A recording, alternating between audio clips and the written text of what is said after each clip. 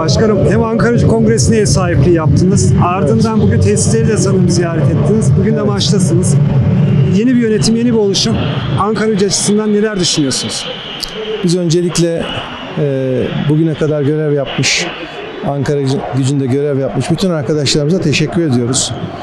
Mehmet Yiner Başkanımıza teşekkür ediyoruz. Güzel bir kongre oldu. Kongrede yeni görev alan Fatih Mert Başkanımızı tebrik ediyorum. Yeni görev alan, e, yönetimde görev alan arkadaşlarımızı teb- teb- tebrik ediyorum. Ankara'mıza hayırlı olsun diyorum. Ben Ankaralıyım, Ankaralıyım, Ankara bebesiyiz biz de. Dolayısıyla Ankara güçlüyüz. Ee, Ankara gücünü her halükarda seviyoruz, destekliyoruz.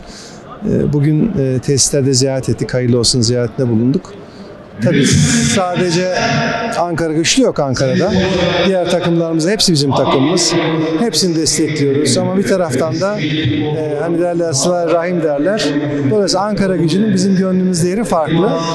Diğer takımlarda sevdiğimiz söylememiz lazım tabii.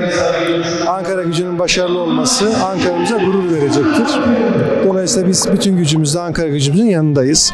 Bugün bu arkadaşlarımız, yarın başka arkadaşlarımız, önceki zamanda başka arkadaşlarımız fark etmez. Önemli olan Ankara'nın marka değeri olan Ankara gücünün taraftarıyla beraber kuvvetli bir şekilde sahada olması ve temsil etmesi.